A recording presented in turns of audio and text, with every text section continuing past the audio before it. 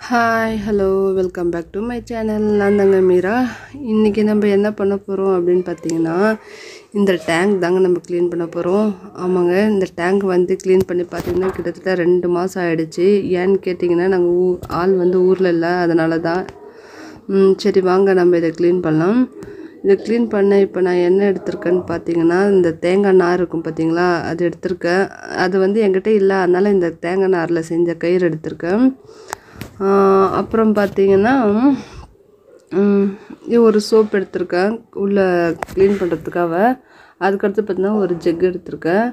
அதுக்கப்புறம் லாஸ்ட்டாக வந்து நம்ம தொட்டியை க்ளீன் பண்ணுறதுக்காக என்ன பண்ணியிருக்கீங்கன்னா காட்டன் துணி ஒன்று எடுத்திருக்கேன். இங்கே பாருங்கள் இவ்வளோதாங்க சரி வாங்க இதை ஓப்பன் பண்ணி நம்ம உள்ளே எந்த அளவுக்கு இது அழுக்காக இருக்குது அப்படின்னு ஃபஸ்ட்டு பார்க்கலாம். ரொம்ப டைட்டாக மூடிட்டு இருக்கு. என்னால் திறக்கவே முடியல. ஓப்பன் பண்ணிவிட்டு ஒரு வழியாக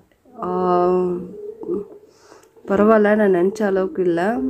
ஆனாலும் உள்ளே வந்து கொஞ்சம் அழுக்காக தான் இருக்குது இங்கே பாருங்கள் ரெண்டு மாதம் ஆயிடுச்சு இல்லையா? அதனால் கொஞ்சம் அழுக்கு நிறையா தான் இருக்குது சரி இதை நம்ம க்ளீன் பண்ணலாம். ம் ஃபஸ்ட்டு பார்த்தீங்கன்னா என் பையன் இறங்குறான். முடியாது ஏற முடியாது. போ அதுதான் இருக்குமா? ஆமாம் நாங்க கட் பண்ணி எடுத்துடலாம் ஆ? உள்ளே வந்து பார்த்திங்கன்னா கொஞ்சம் தண்ணி இருக்குது ஃபஸ்ட்டு அதை நாங்கள் க்ளீன் பண்ணிடலான்னு க்ளீன் பண்ணுறோம் என் குழந்த தான் எனக்கு ஹெல்ப் பண்ணுறான் கூட அங்கே பாருங்கள் போது ஈஸியாக இறங்கிட்டேன் ஆனால் இப்போ அவனால ஏற முடியல. கீழே கவுத்துடு. ஆ அது மேலே கால் வை. ம் ஏறி வா. ம் ஏறு. விழ போகிறடா ஆ வா. நல்லா இருக்கும். ஒரு வழியாக நான் டேங்க்குள்ளே இறங்கிட்டேன் கொஞ்சம் கஷ்டமாக இருந்துச்சு. இங்கே பாருங்கள் இதில் எவ்வளோ அழுக்கு சேர்ந்துட்டுருக்கு அப்படின்னு. கிட்டத்தட்ட கழுவி ரெண்டு மாதம் ஆகுது இல்லையா? அதனால் அவ்வளோ அழுக்கு சேர்ந்துட்டுருக்கு. நான் வந்து ஃபஸ்ட்டு சோப்லாம் எதுவும் போடல. சும்மா ஒரு முறை தேய்ச்சி விட்டுக்கிறேன். அதுக்கப்புறம் சோப் போட்டு தேய்க்கலாம் அப்படின்ட்டு. இங்கே பாருங்கள் இந்த ஓரத்துலலாம் எவ்வளோ அழுகு படிஞ்சிருக்கு அப்படின்னு சொல்லிட்டு. நல்லா இது எல்லாத்துலையும் பொறுமையாக நான் தேய்ச்சி எடுத்துட்றேன். கீழேலேருந்து இங்கே பாருங்கள் கீழே கூட நிறைய அழுக்கு சேர்ந்துட்டுருக்கு. அப்படியே திட்டு திட்டா அந்த ஒயிட் கலரே தெரியாமல் அப்படியே ஒரு மாதிரி க்ரே கலரில் ஆகிட்டுருக்கு இது எல்லாத்தையும் நல்லா தேய்ச்சி விட்டுக்கலாம் நம்ம. எங்கிட்ட தேங்காய் நார் இல்லை அதனால் இந்த நான் தேங்காய் க நாரில் செஞ்ச கயிறு எடுத்திருக்கேன். உங்கள்கிட்ட தேங்காய் நார் இருந்தால் அதை எடுத்துங்க. இன்னும் அது உங்களுக்கு கம்ஃபர்டபுளாக இருக்கும் தேய்க்கிறதுக்கு. அப்படியே எங்கள் பாருங்கள் செம்ம அழுக்கு இருக்குது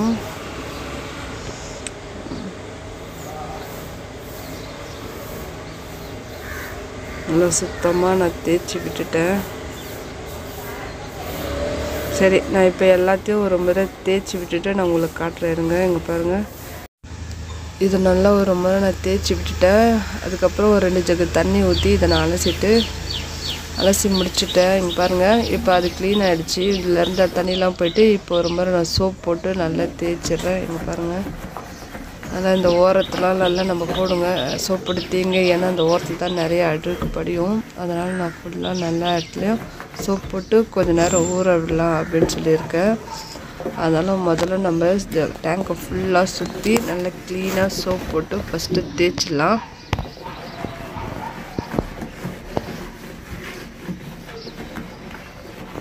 இந்த பைப் வழியாக தான் தண்ணி உள்ளே வரும். இந்த பைப் வழியாக எக்ஸ்ட்ரா தண்ணியெல்லாம் வெளியே போகும். அங்கே பாருங்கள் ரெண்டு பைப்லேயும் செம்ம அழுக்கு சேர்ந்துட்டுருக்கு. அதெல்லாம் எல்லாத்தையும் நான் ஃபுல்லாக தேய்ச்சி எடுத்துட்டேன். இங்கே பாருங்கள் இப்போ நான் வந்து இந்த டேங்கையை ஃபுல்லாக நல்லா சோப் போட்டு தேய்ச்சி க்ளீனாக பக்காவாக விட்டுருக்கேன். இங்கே பாருங்கள் இது கொஞ்சம் நேரம் அப்படியே ஊறட்டும். அதுக்குள்ளே அதுக்குள்ளே கீழே படிஞ்சிருக்க மண் திட்டுலாம் இருக்குது பார்த்தீங்கன்னா அதெல்லாம் நல்லா தேய்ச்சி எடுத்துட்டு இங்கே பாருங்கள் இந்த பைப்லாம் செம்மையாக இருக்க அழுக்கு. அதெல்லாம் நான் சுத்தமாக க்ளீன் பண்ணி தேய்ச்சி எடுத்துட்டேன். இப்போ இந்த தண்ணி வந்து ரொம்ப அழுக்காக இருக்குது அதனால் இந்த தண்ணியை நான் எடுத்துடலான்னு இருக்கேன். இந்த தண்ணி எடுத்துட்டு வேறு ஒரு தண்ணியை ஊற்றி மறுபடியும் இதை நம்ம கழுவலாம். நான் இந்த அழுக்கு தண்ணியை இப்போ க்ளீன் பண்ணிடுறேன். வேறு தண்ணியை ஊற்றிட்டு மறுபடியும் நம்ம இதை க்ளீன் பண்ணலாம். நான் வேறு தண்ணி ஊற்றி சோப்பு நிறையெல்லாம் க்ளீன் பண்ணிட்டேன். இப்போ நான் சுத்தமாக ஒரு முறை இந்த டவலை வச்சு நல்லா தொடச்சி எடுத்துடலாம். இப்போ கடைசியாக இருக்கிற தண்ணியும் நம்ம க்ளீன் பண்ணிடலாம். இதை வந்து தண்ணி கடைசியாக இருக்கிறதுல ஜெக்கால் எடுக்க முடியல. அதனால் நான் இந்த காட்டன் துணியை போட்டு எடுத்துடுறேன். உங்கள்கிட்ட ஸ்பாஞ்ச் இருந்துச்சுன்னா போட்டு க்ளீன் பண்ணுங்கள் அது இன்னும் ஈஸியாக இருக்கும் உங்களுக்கு. அவ்வளோதாங்க கிட்டத்தட்ட முடிஞ்சிடுச்சு. இதில் கொஞ்சம் தண்ணி கூட இல்லாமல் நான் க்ளீனாக தொடச்சி எடுத்துட்டேன். இன்னும் கொஞ்சம் தான் இருக்குது இது கிட்டத்தட்ட வேலை முடிஞ்சிடுச்சு க்ளீனாக எல்லா தண்ணியும் நான் எடுத்துட்டேன். இப்போ மீதி இருக்கிற கொஞ்சம் நெஞ்ச தண்ணி இந்த ஈர துணியை வச்சு நான் க்ளீனாக சுத்தம் பண்ணி எடுத்துட்டு அதுக்கப்புறம் காஞ்ச துணியை வச்சு மறுபடியும் தொடச்சி எடுத்துட்டா எல்லாமே முடிஞ்சு போச்சு அவ்வளோதான் மறுபடியும் ஒரு காஞ்ச காட்டன் துணியை போட்டு நான் சுத்தமாக க்ளீன் பண்ணிட்டேன். இங்கே பாருங்கள் பக்காவாகிடுச்சு சரி வாங்க நம்ம தண்ணி ஓப்பன் பண்ணி விட்டு பார்க்கலாம். தண்ணி அடியில் மண் இருந்தால் நம்மளுக்கு தெரியும். ஓகே நான் ஓப்பன் பண்ணிட்டேன். இப்போ நம்ம பார்க்கலாம். இங்கே பாருங்கள் எந்த அழுக்கும் இல்லை. அப்படியே இதில் அழுக்கு இருந்துச்சுன்னா நம்ம தண்ணி விடும்போது உரமாக அது கலராக தெரியும் நம்மளுக்கு. இங்கே பாருங்கள் எந்த அழுக்கும் இல்லை. டேங்க் வந்து பக்காவாக க்ளீன் ஆகிடுச்சு ஓகே இது ரொம்பட்டும். நம்ம இதை க்ளோஸ் பண்ணிடலாம்.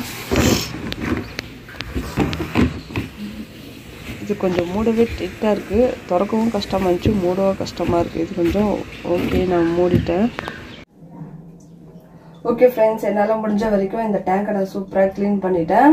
சரி இதோட இந்த வீடியோ நான் முடிச்சுக்கிறேன். என்னோட வீடியோ யாராவது ஃபஸ்ட் டைம் பார்த்தீங்கன்னா மறக்காமல் சப்ஸ்கிரைப் பண்ணி லைக் பண்ணி ஷேர் பண்ணிவிடுங்க கமெண்ட்டையும் பண்ண மறந்துடாதீங்க. அடுத்த ஒரு நல்ல வீடியோவோட நான் உங்களை சந்திக்கிறேன். அதுவரை பாய் நான் உங்கள் மீரா.